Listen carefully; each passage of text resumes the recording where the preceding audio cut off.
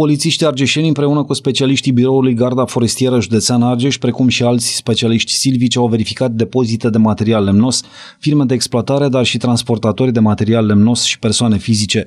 Au fost aplicate sancțiuni în valoare de 23.000 de lei și au fost confiscați peste 75 metri cubi de material lemnos împreună cu un autocamion, o autoutilitară și un atelaj. Echipele de control au verificat atât depozitele unor societăți comerciale cu obiect de activitate, comercializarea, prelucrarea și depozitarea materialului lemnos, respectiv cu obiect de activitate exploatarea materialului lemnos în cadrul exploatărilor forestiere, dar și transportatori de material lemnos și persoane particulare care dețin material lemnos au fost depistați nouă bărbați cu vârste cuprinse între 21 și 57 de ani, care transportau pe drumurile publice material lemnos fără documente legale. Totodată, în urma controlului efectuat la o societate comercială cu activitate în domeniul silvic, s-a constatat că primirea materialelor lemnoase nu se făcea conform procedurilor specifice, iar societatea a expediat material lemnos fără forme legale.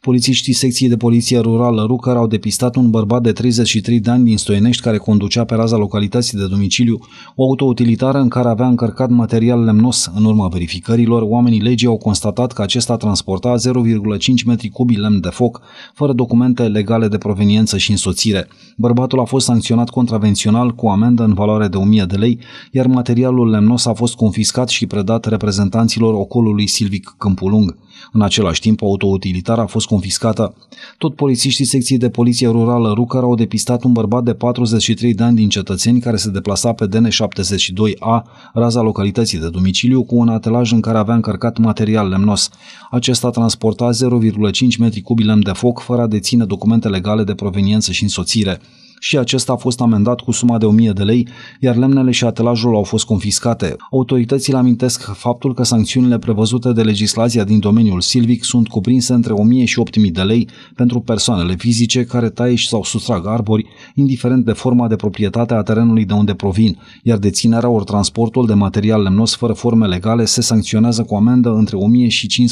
15.000 de lei. Totodată, pentru agenții economici care dețin să efectuează activități de expediere, transport, primire pentru depozitare sau prelucrare de material lemnos, amenziile sunt cuprinse între 1000 și